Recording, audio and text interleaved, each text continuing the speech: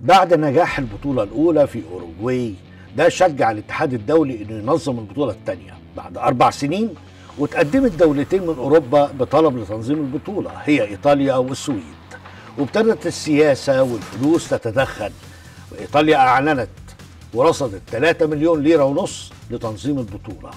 والحقيقة إن الحكومة الإيطالية والرئيس الإيطالي بينيتو موسوليني بالنظام الفاشي لقاها فرصة لتلميع نفسه في العالم.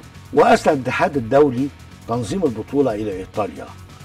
وكانت فرصة لإيطاليا وبدأ اللعب علشان تفوز إيطاليا بالبطولة. طبعا ده موسوليني مش أي حد.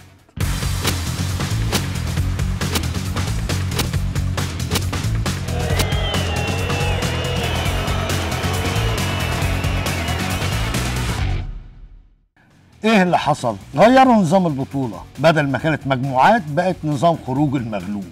يعني اللي يتغلب bye bye. وده عشان يسهلوا الأمور على إيطاليا.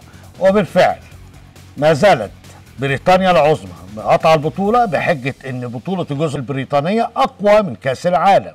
نسيت أقول إن اوروجواي امتنعت عن المشاركة. ودي أول وآخر مرة ما يدافعش حامل اللقب عن لقبه.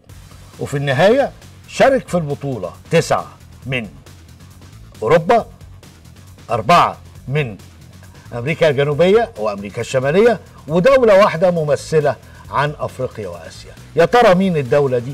ده اللي هنعرفه في الحلقة الجاية.